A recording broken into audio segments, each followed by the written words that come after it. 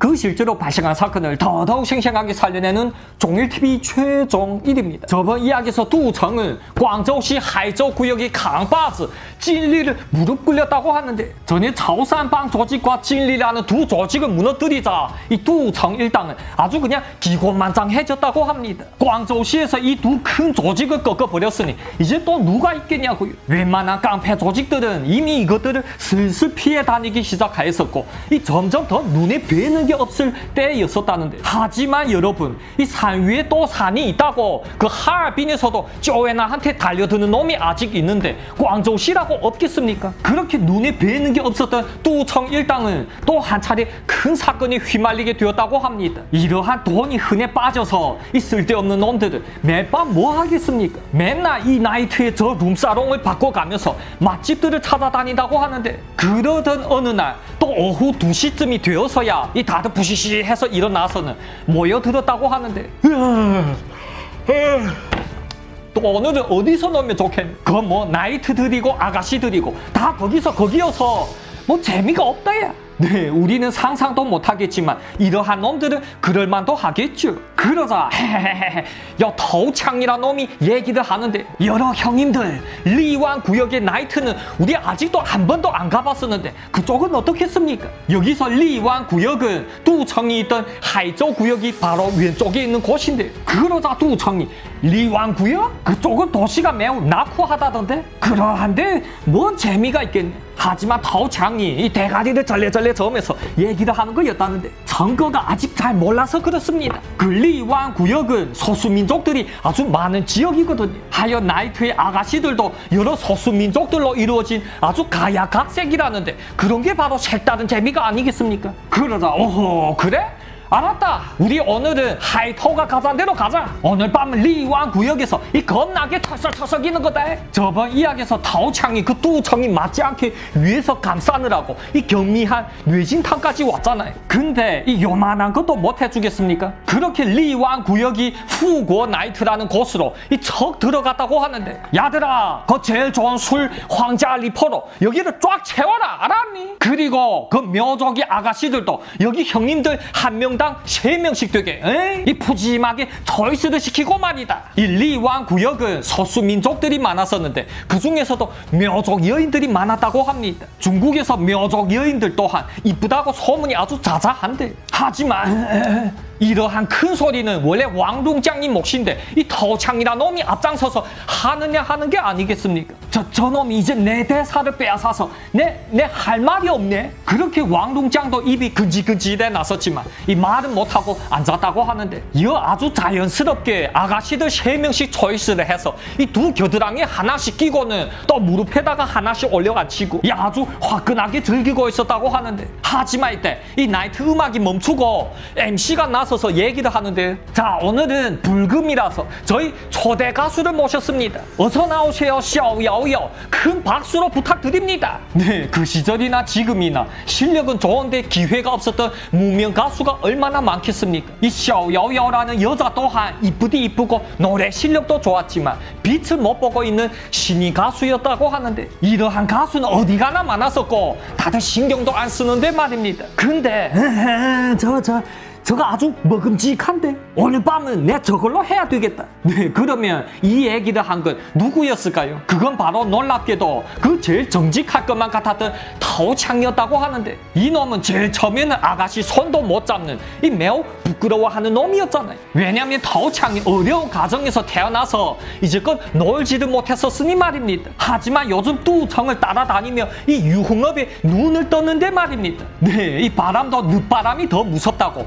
이 하이터가 이제 나이트 같은 데로 가게 되면 제대로 발광을 하며 즐긴다고 하는데 특히 술이 알따따해지게 되면 아주 생쇼를 해 대는데 이 곁에 놈들이 막 쪽팔려날 정도였다고 합니다. 그렇게 술이 알따따하게 잘 된 타오창이 이 비틀비틀 거리며 무대 위로 올라가서는 그 여자 가수의 손을 그냥 확 끌어잡았다고 합니다. 자 가자. 에이 오늘 밤은 이 어르신이랑 홍콩 함 다녀오자. 네 하지만 이 아가씨는 싫다고 손을 뺐다고 하는데 그 누구라도 이러한 상황에서는 거절하겠죠. 하지만 말입니다. 어쭈 뭐야? 멘트 안 주게? 니네 누구를 모시고 있는지 아니? 이 바닥에서 아예 확 묻어버리기 전에 빨리 가자! 네, 타오창은 원래 이러한 놈이 아니었었는데 그 권력이 곁에 있으니 사람이 변했다고 하는데 이러니 권력이란 게 무섭다는 게 아니겠습니까? 그러자 나이트의 보안들이 그냥 쳐다만 보고 있겠습니까? 이 다짜고짜 두 명이 보안이 달려들어서 그 타오창이 팔을 이 비틀려고 했었다는데 하지만 여러분 타오창이 누구죠? 중국의 중난하이 즉 한국의 청와대 같은 곳에서 활약하던 보디가드인데 아무리 훈련을 잘 받은 보디가드 라 할지라도 그 타오창이 앞에서는 잽도 안 되었다고 하는데 타오창은 다짜고짜 몸이 자동으로 반응을 하면서 이 툭툭 걷어찼다고 하는데 그러자 이 두 덩치 좋은 보디가드는 쿵 하고 맥없이 쓰러지더니 일어나지를 못하는데 여러분 이러한 게 바로 진정한 강호에서 이 싸움이 도화선인데 뭔 아버지 큰 원수가 있어서 서로 죽기 살기로 싸우는 거는 그 영화나 드라마에서나 하는 거고 이 현실에서 이렇게도 우연하게 싸움이 벌어진다고 합니다. 요 자그마한 모순이 커지고 커지다가 이 한동안 전 광동성을 들썩이게 한 큰 사건으로 번지게 되는데 그리고는 나중에 짜오디엔 파탄이라고 이 한국으로 치면 사건 파일 같은 시사 방송에도 나오게 된다고 합니다. 그러면 대체 어떻게 나왔냐고요? 우리 한번 보시겠습니다. 타오창이 두 보디가드를 때려 눕히자 그러자 말입니다. 하우 하우 이 주위의 다른 손님들은 다들 그 타오창이 솜씨를 보고는 박수를 막 제치는 게 아니겠습니까? 그러자 이 타오창이라는 놈이 더더욱 득의양양 해놨다고 하는데 어나야 에이 또 어나 내 앞을 막아보겠니? 오늘 이 여자는 내 꼭 데려가야 쓰겠다. 네, 그야말로 진상에도 타오창 같은 또 이러한 진상이 따로 있을까요? 그 제일 처음에 아가씨 손도 못 만지던 타오창이 제대로 나쁜 물을 먹은 거라고 하는데 그러면 이 나이트 측에서야 가만히 놔두려고 하겠습니까? 이 수십 명이 검은색 티셔츠를 입은 보디가드 놈들이 우르르 몰려들기 시작했으면 뭐 뭐야? 그제야 뚜청 일당이 이 무슨 상황인지 알아냈다는데 요번 에 우리 타오창이 한건 아니? 야들아 빨리 가서 우리 타오창 곁을 지켜주자. 뚜청 웬난 왕롱장 따즈 등등이 부랴부랴 무대 위로 올라갔다고 하는데 하지만 네, 여기서 힘을 쓸 놈이 누가 있겠습니까? 그 하얼빈의 강바즈 쪼엔난밖에 더 있겠냐고요. 웬난이 제일 앞에 척 나서서 왼손에 권총을 꽉 거머쥐고 이 오른손에 담배질을 풀풀 했었다고 하는데 네, 그 쪼에난이 혼자 나서서 담배지만 풀풀 하고 있었지만 이 수십 명이 칸 창즈들 그 누구 하나 한 발자국도 더 앞으로 못 됐다고 하는데 이놈이 비록 아무 말도 없이 그냥 서 있기만 하지만 이 죽은 명태 눈가리의 이 팩이 어디로 가겠습니까? 이러한 놈은 진짜로 권총을 쏜 놈이었으니 말이었죠. 그러자 이 웬난이 담배불을 훅 던지며 얘기하는데 왜 다들 아이하게 아이 하겠으면 우리 간다. 쪼외나는 뭐 화도 안 내고 태연자약하게 물었었는데 이놈들은 그 누구 하나 대꾸도 못했다고 합니다. 이게 바로 가게 치안을 유지해주는 보안들과 이 깡패 건달들의 차이점인데 자기네들은 쥐꼬리만한 월급이나 받아먹고 일하는데 누가 권총 앞에서 나서겠냐고요. 그렇게 쪼외나니 혼자서 이 수십 명이 看场子들을 막고 뚜청 일당은 아주 당당하게 자리를 빠져나갔다고 합니다. 그러면 이 일은 그냥 이렇게 끝날 수 있었을 있을까요? 천만에요. 만약 이러한 거에 겁을 먹고 그냥 꾹 참을 놈이라면 어떻게 이 큰 나이트를 하겠습니까? 이 나이트 사장의 이름이 리후꼬이라고 불렀었고 하얀 나이트 이름을 후꼬이 나이트로 지은 건데 근데 뭐? 내 나이트에 와서 깽판을 치고 가수까지 억지로 끌고 나가서 내 이 복수를 하지 않으면 이 바닥에서 어떻게 계속 살아남겠니? 네, 강호라는 게 그런 게 아니겠습니까? 만약 이 리후고의 쪽에서 권총 한 자루 때문에 꺾였다고 소문이 나게 되면 어떻겠습니까? 온갖 양아치 같은 놈들이 다 찾아와서 이 한 몫씩 뜯어갈 게 분명하겠는데 이러니 강호에서 한 자그마한 모순이라도 엄청난 전쟁으로 커지게 되는 건데 하지만 리후고에는 강호에서 노는 놈이 아니고 사업가인데 하여 이 띠띠띠 어디론가 전화를 넣었다고 합니다. 왜? 라오해야? 이놈은 강호에서의 호칭이 라오헤이라고 불렀었는데 온몸이 털로 두툼하게 덮여져 있어서 이 라오헤이 즉 검은 놈이라고 불렀다고 합니다. 어제 어떤 한 무리 깡패 놈들이 우리 가게에 와서 행패를 부렸었는데 말이다. 근데 그 놈들 그거 그 찔리를 꺾은 놈들이라네. 그래서 말인데 라오헤야 그 찔리도 상대가 안 되는 놈들 너 당해낼 수가 있겠니? 그러자 뭐, 뭐라고요? 지금 저랑 찔리를 비교하는 겁니까? 하참 어이가 없네. 그러한 뺀질뺀질한 놈도 뭐 깡패 근단에 속한답니까? 그러한 놈은 우리 강호 바닥에 속하지도 못하는 놈이랍니다.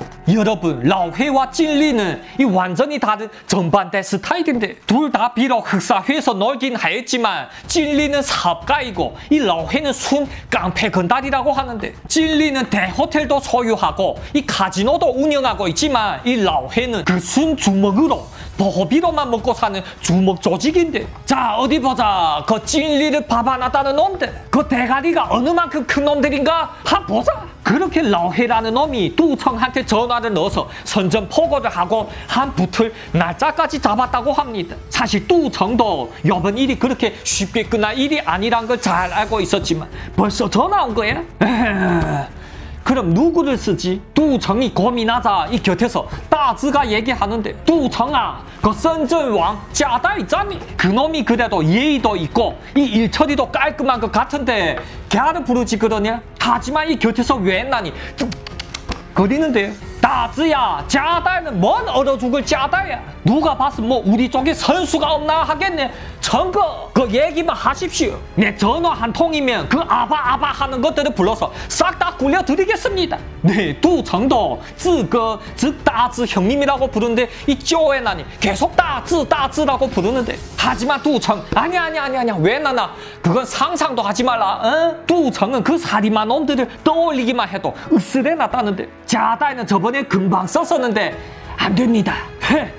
내 따로 쓸 놈이 있습니다. 그러면 이 두청이 쓰려는 놈은 과연 누구였을까요? 이 시각 두청이 백조 호텔 부근에 위치한 찐리 대호텔인데 아, 아이고야 아이고야 봐죽거다 내 찐리 이 덩치에 이 재산에 이 세력에 그래도 그 조그만 놈한테도 얻어 터져야 하다니 내 분통하다야 네 그건 바로 찐리였었다고 합니다. 저번 이야기에서 두청이 놈이 목숨은 살려줬지만 그냥 놔두지는 않았다고 하는데 요키 160이나 될까 말까 한 뚜청이 그 키 190인 찐리를 올려다가 짱짱짱 이 쾅쾅쾅 냅다 밟아놨다고 하는데 하여 찐리는 이빨도 몇 대가 나가고 이온 얼굴에 멍이 들고 아주 형편없었다고 하는데 하하하이고 그 뚜청인지 뭔지. 세긴 세더라 내 큰형님이 광저우시 number two 부시장인 것도 그놈 앞에서는 개뿔도 아니네. 그렇게 찔리는 온 얼굴에 시꺼멓게 멍든 곳을 어루만지면서 끙끙 앓고 있는데 삐리리삐리리 어, 전화가 오는데 왜? 내 두 정이요. 어떻게 나 아직도 기억하고 있어? 그러다 니, 니, 니기 또 뚜청? 순간 그 찔리라는 놈은 병상에서 발따다 일어났다고 하는데 예예예 예, 예, 어르신 안 그래도 저 요즘 어르신한테 문안 드리려고 했었는데 어떻게 먼저 전화를 다 주시고 됩니다 에? 돼요 그 어떠한 일이든지 이 찔리는 무조건 하겠습니다 그러자 에? 이 뚜청이 당황해지는데 그, 그 그쪽이 내보다 나이도 많아 보이는데 하지만 저쪽에선 아주 신이 났다는데 뚜장 어르신 이 강호에서 어디 나이로 아래 위를 따진답니까? 당연히 힘과 멘즈로 따져야 하는데 뚜청은 저희 형님도 아니고 어르신입니다요. 그건 뭐 광저우시 number two 부시장 류시장이고 뭐고 개똥이나 처먹으라셔 꺼지라셔. 저 이제부터는 어르신을 모시겠습니다 이렇게도 빨리 갈아탄다고? 그러자 또 정이 난처해하면서 얘기하는데 에헴, 그거 다른 게 아니고 내 부탁드릴 일이 있어서 하지만 저쪽에서 부탁이라뇨 형님. 저한테 부탁이라뇨. 당치도 않습니다 큰형님. 명령이요. 저한테 명령만 내려주십시오. 행님이 말 한마디면 쌍다오산 샤호할 짤수어부츠라고. 위로는 칼산이고 아래로는 불바다라고 할지라도 이 한 몸 던지겠습니다요 뭔다 뭐 형님의 에? 네, 이 찔리 같은 머리가 좋은 놈이 공산당 이세 라인에 들어갈 기회를 놓칠 리가 있겠습니까? 요절대적 충성을 맹세했다고 하는데 이러니 여러분 병법에서 말하기를 적은 아우가 될 수 있는 법이고 그 반대로 아우도 적으로 될 수 있다는 게 아니겠습니까? 네 하지만 요번에 이 사건은 그렇게 호락호락하지 않은데 그 아짜아짜하고 짜릿한 실화 이야기 이 다음 회에 계속하겠습니다. 재밌게 시청하셨으면 댓글과 좋아요 쾅쾅 박아주시고요. 다음 회에 또再见。